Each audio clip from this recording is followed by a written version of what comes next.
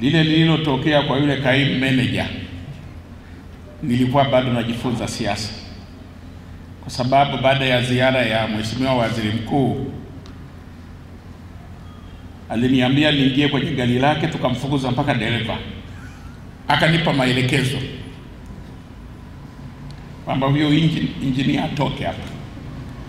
Nikasema sawa, Mheshimiwa Waziri Mkuu. Alivyoondoka na mimi nikamwita Mfugale, nikamwita na Mwakalinga, nikamwambia maelekezo jamani ni haya. Sasa wakaanza kuyatekeleza, lakini kumbe hayakutosha. Ndo nikampigia dada yangu Kristina Mdeme kwamba ah, sasa hapa ningefanya nini? Akasema ungetangaza. Nikamwambia basi nimefahamu, lakini naomba unipe sheria ya siasa. Mpaka sasa hajanipa, maana vitu vingine vyote vina sheria. Sasa sheria ya siasa iko wapi? Mpaka leo hajanipa. Ni ilani eh? Lakini amenisaidia, amenisaidia kwamba sasa najua kila ikitokea nifanyeje.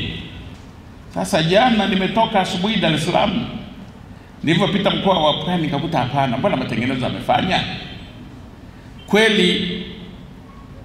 Dhamira ikanisuta kwamba hapana, nimemwonea meneja wa Pwani kwa sababu nilikuwa naendesha gari, mimi sihitaji mtu kwenye gari. Nilipokuwa naangalia nikakuta kijana amejitahidi sana kuziba yale mashimo. Kwa hiyo nikalifanya kimya kimya, nikamwambia Mfugale, mrudishe huyu bwana, tumemwonea.